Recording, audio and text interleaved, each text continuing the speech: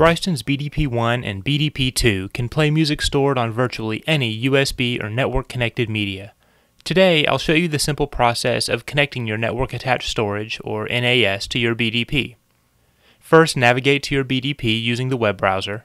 If you have a BDP2, the address is bryston-bdp-2.local. BDP1 owners simply replace the 2 with a 1. You can also enter the numerical IP address of your player.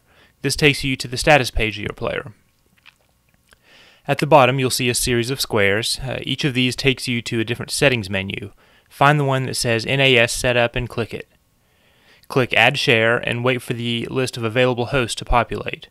Once it does, click the drop down menu and scroll until you find the server you're looking for. Click it.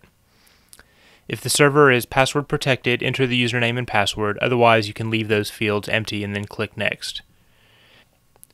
Now choose which share in your chosen server contains your music. Uh, choose it from the Share drop-down menu. Then, in the menu that appears beneath it, pick the folder inside the share that contains your music. Click Next and you'll see your new share has been added to the list of connected NAS devices. Verify that your music is available by going back to the home page.